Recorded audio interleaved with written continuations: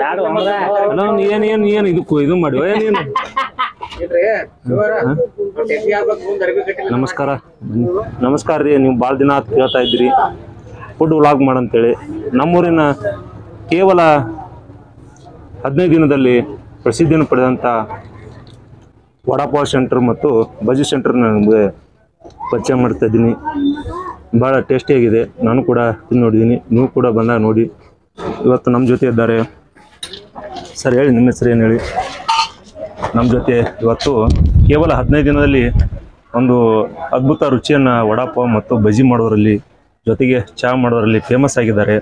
ಸುತ್ತಮುತ್ತ ಊರಿನ ಗ್ರಾಮದವರು ಬರ್ತಾ ಇದ್ದಾರೆ. ಸರ್ ಹೇಳಿ ನಿಮ್ಮ ಹೆಸರು ಏನು? ನನ್ನ ಹೆಸರು ಮಲ್ಲಿಕ್ ಸಾಬ್ ಮುಲ್ಲಾ ಅಂತ. ಮಲಿಕ್ ಸಾಬ್ ಮುಲ್ಲಾ ಅಂತೇಳಿ. ಈಗ ಎಷ್ಟು ದಿನ ಆಯ್ತು ನೀವು ಚಲೋ ಮಾಡಿದನ ನಾವು ಒಂದು ತಿಂಗಳು ಸಮೀಪ ತಿಂಗಳು ಆಯ್ತು ರೀ?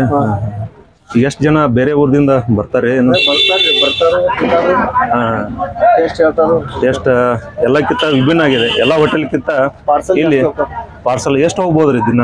ಒಂದ್ ದಿನ ಒಂದು ಇನ್ನೂರು ವಡಾಪಾವ್ ರೀ ಇನ್ನೂರು ಅಂದ್ರೆ ಎರಡ್ನೂರು ವಡಾಪಾವ್ಗಳು ಇಲ್ಲಿಂದ ಸಪ್ಲೈ ಆಗ್ತಾ ಇದೆ. ಬೇರೆ ಊರಿಗೆ ಸಂಜೆ ನಾಲ್ಕರಿಂದ ಎಂಟರ ತನ ಒಂದು ಐದು ಕಿಲೋ ಹಿಟ್ಟು ಹೋಗುತ್ತೆ ಐದು ಕೆಜಿ ಕಡ್ಲೆ ಹಿಟ್ಟು ಬಜಿ ಮತ್ತು ವಡಾಪಾವ್ಗೆ ಹೋಗ್ತಾ ಇದೆ. ಮತ್ತೆ ನೀವು ಯಾವ ದಿನ ಬಂದಿರುತ್ತೆ ಯಾವ ದಿನ ಚಾಲು ಇರುತ್ತೆ ಕಂಟಿನ್ಯೂ ಚಾಲು ಅಂದ್ರೆ ಅಮಾಶಿ ಮತ್ತೆ ಒಂದು ಹಬ್ಬ ಹರಿದಿನ ಮಾತ್ರ ಬಂದಿರುತ್ತೆ. ಇದು ನೀವು ಬಂದ್ರೆ ಬೊಬ್ಳೇಶ್ವರ ಮಾರ್ಗವಾಗಿ ಹತ್ತನೇ ಮಾರ್ಗ ಹೋಗ್ತಾ ಇದ್ರೆ ಖಂಡಿತವಾಗಿ ಇವರ ಹೋಟೆಲ್ಗೆ ಒಂದ್ಸಲ ಭೇಟಿಯಾಗಿ ನೀಡೋನಿ. ಸರ್ ನಿಮ್ಮ ಹೋಟೆಲ್ ಹೆಸರು ಹೇಳಿ. Indian hotel Indian hotel food ಅಂತೇಳಿ. ನೀವು ಕೇಳ್ತಾ ಇದ್ರಿ ಫುಡ್ ಅದ್ಭುತ ಬಜ್ಜಿ ನಮ್ಮ ಕಡೆ ಎಲ್ಲ ಬಜ್ಜಿ ಕರಿತೀವಿ. ವಡಾಪಾವ್ ಫೇಮಸ್ ಆಗಿದ್ದಾರೆ. ನೀವು ಕೂಡ ಬನ್ನಿ. ಅದ್ರ ಬಗ್ಗೆ ಎಲ್ಲ ಸಂಪೂರ್ಣ ಮಾಹಿತಿ ಇರುತ್ತೆ.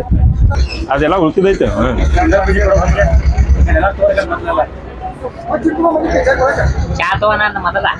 ಹ್ಞೂ ಹ್ಞೂ ಒಂದೊಟ್ಟು ಕೇಳಪ್ಪ ಚಾ ಸರ್ ಚಾ ಟೇಸ್ಟ್ ಚಲೋ ಮಾಡ್ಯಾನ ಚಲೋ ಮಾಡ್ಯಾನ? ಹಾಂ.